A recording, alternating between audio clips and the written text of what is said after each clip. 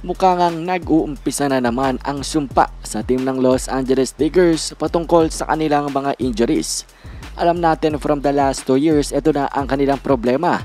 Starting from AD, pati na rin si Lebron at nadamay na rin ang kanilang mga role players.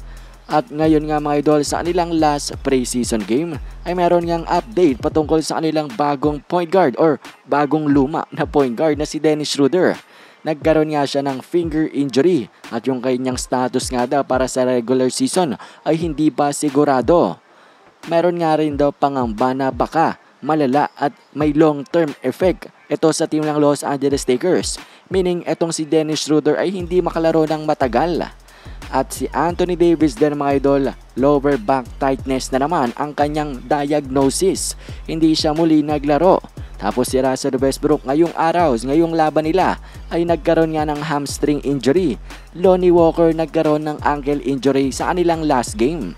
So mga idol, hindi pa man nag-uumpisa ang regular season, napakadami ng injuries ng team ng Los Angeles Lakers na paniguradong makakaapekto sa kanila sa pag-uumpisa ng regular season.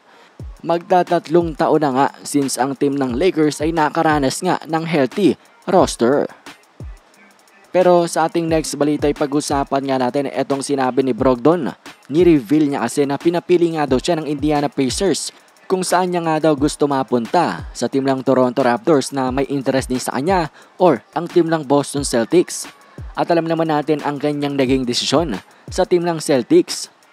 Well, sino ba namang ayaw pumunta sa team ng Boston na very promising ang roster Kakagaling lang sa pagko-compete sa NBA Championship at malaki pa nga ang kanilang pwedeng i-improve. Nadagdagan sila ng magagaling na player kasama na ito si Malcolm Brogdon. Kaya for sure it's a no-brainer. Wala nang pagdadalawang isip na pipiliin talaga neto ni Malcolm Brogdon ang team ng Celtics kesa sa Raptors. At para na nga sa ating panghuling balita mga idol, nakuwanan nga itong si Stephen Curry na kanyang binibigyan ng magandang advice itong si Patrick Baldwin Jr. Hindi natin alam specifically kung ano ang itinuturo ni Stephen Curry or kung ano ang tinatama niya sa kanilang rookie.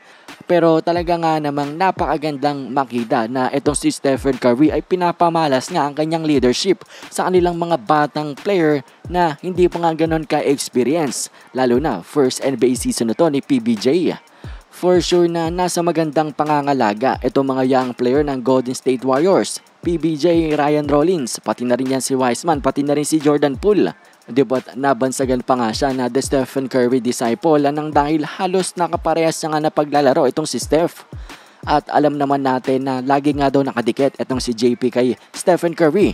At nakita natin year by year ang kanyang improvement sa pag-idolize dito kay Stephen Curry. At for sure sa paggagabay na rin neto ni Steph dito sa young player niya na si JP.